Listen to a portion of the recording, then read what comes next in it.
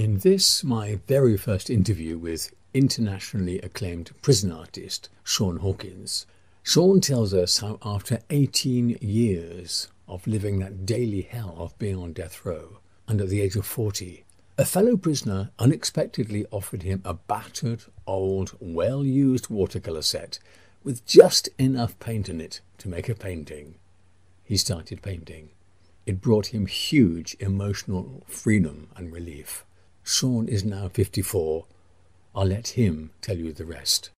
My first encounter, my first real encounter with actually painting something was when a friend of mine who uh, is an artist himself had an old watercolor set that he was throwing away. And I happened to be present at the time and you know something inside me was curious about it, and so I asked him to let me to let me have it instead of throwing it away. So he gave it to me. He gave me a brush and some paper to to paint on, and that was the beginning of my journey with painting. And my very first painting was a bit ambitious because it was of Jamie Foxx he was in a car, old old school car, a '60s type of car, and he had his a convertible, and he had his arm out the window, you know, on some really cool, not cool pose type of um, set, and I painted it. It came out pretty good for my first time. So, and I, you know, I fell in love with it ever since. Yeah, that was my very first. Yeah, and to this day, I don't know where that painting is. Think I gave it to my attorney back then because we were going through my clemency at the time, and uh, he wanted some artwork from me, and I think I gave him that uh, along with some other stuff. So yeah, that was my very first time, and I rather enjoyed it. I really did. One because it turned out really well, the painting, and two, I've always had an interest in art, drawing mostly and like I said, my friend was an artist already, and I really liked, you know, the work that he did. So it was just, I think, natural for me to want to pursue painting. You know, now that I, I actually had, you know, paints in my hand, the interest and curiosity of it, it made me want to just be creative and have some fun with it. That's what I did. And once I got a taste of the watercolor, I moved over to, in a very short span of time, moved on to oils. And once again, he had some old oil paints that he had. he happened to be painting something at the time. So my curiosity led me to want to try oils. I didn't have everything you needed to paint with oils because you have to have certain mediums to use with the oils, but that didn't stop me from you from trying you know, that medium, that oil medium, and I liked it because it was more, um, it was easy to blend, and I, I had a thing with like blending my colors, and I liked it even more than the watercolor. I took to it, and you know, I stayed. I still used watercolor at the time, but I um, I really enjoyed oils much much more. That all sounds really great, Shawn. When you first started painting, Shawn, some 40 years ago now, where exactly would you say your inspiration came from? I think inspiration came from just having a need to be creative.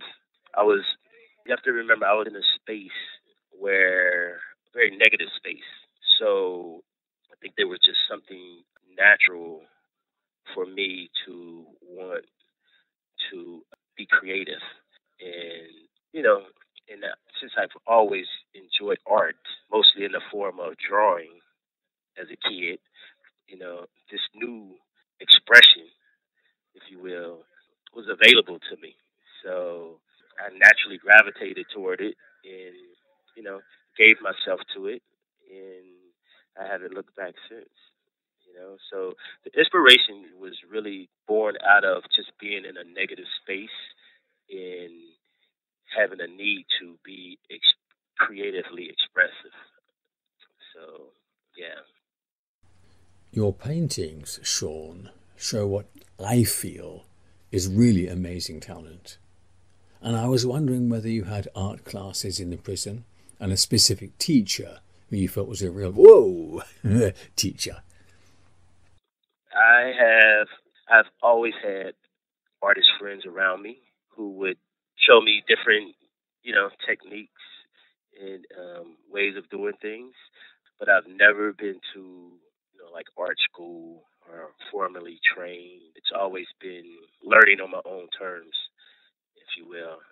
Even to this day, you know, I learn from reading art magazines, books, instructional books, friends, artist friends, yeah, and just observing, you know, yeah, yep. I hope to someday go to like workshops, you know, add to what I've been able to learn on my own, and um, just expand my my skill. So hopefully one day I'll be able to do that. Yeah. Yeah. I hate to say that I am self taught because I've always um, had the assistance of, you know, these articles, reading, my friends teaching me and helping me along the way. So I don't like to like take all the credit for being where I'm at today artistically. You know, so so the term self taught is is is used. I I like to say part of it is self taught, yeah.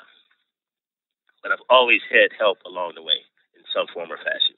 Yeah, it's been a while. With all that artistic input over several years, how would you say your painting style has changed since that first Jamie Foxx? Or, you know, has it changed at all? Uh, yeah, tremendously. Uh, yeah. From the very first uh, Jamie Foxx painting to now, it's like night and day because there's just so much to learn about not just art, but being an artist.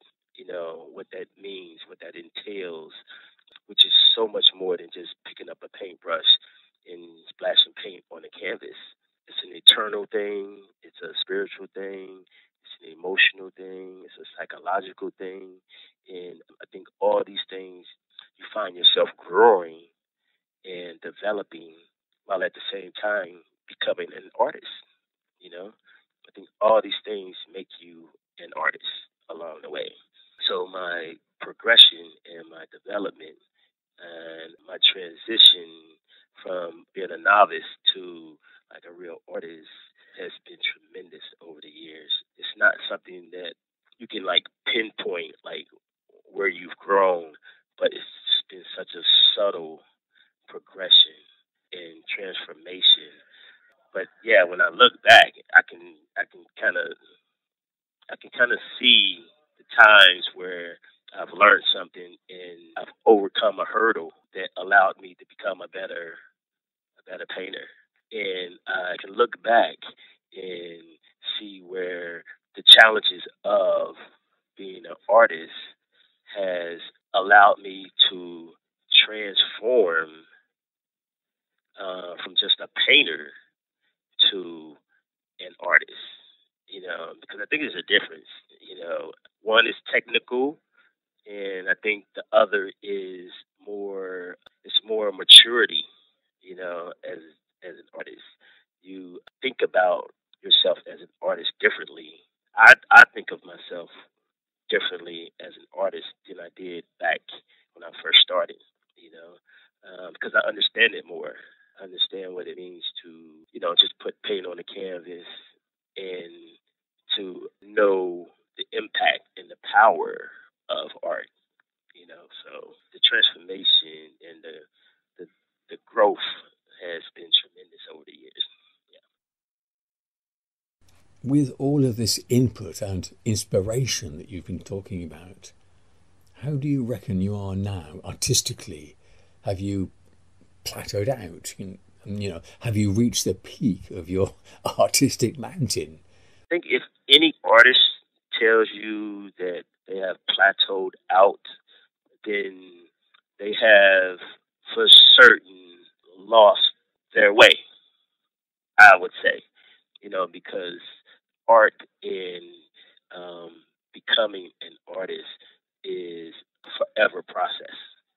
know, there's always something to be learned along the way, whether it's about art itself or you as an artist or as a person. And I get emotional just talking about it because it's such a um, such a grand challenge, you know, to achieve the unachievable, and that's perfection. There's no perfection in art. There's always something to strive for, becoming a better artist. Brilliant, yeah, brilliant. So I was thinking if one of your fellow prisoners came up and said, Shawn, I really like what you do with your painting, what sort of advice would you give them? The first thing for any anyone having the curiosity or the interest in painting and becoming an artist, you have to first conquer the fear of it. Think most people feel that, especially when they're comparing themselves to other artists who have already embarked on their own journey and developed and progressed and transformed into who they are. You have to overcome your fear of failing and not becoming this idea you have of what an artist or a good painter is. And you have to find the courage to just be expressive in your own way and being able to enjoy that that that process, that journey that uh, it will take you on. There's a lot of fear when it comes to wanting to do something because you think you will fail at it and you won't be as good as you think you should be or could be. So you have to just overcome those fears and give yourself to the process and have fun along the way. I think there is room and space to talk about the the the power of art and the impact that art has. You know, not just on the artist's life, but those who receive the art that the artist produces. So yeah. So as you can hear in Shawn's voice, he's a very genuine and gentle person. This is my first interview with Shawn, and I hope it has interested you, interested you enough to look out for my next interview with him. By the way, my name is Swithin. I'm English, though I returned to Spain some four years ago now.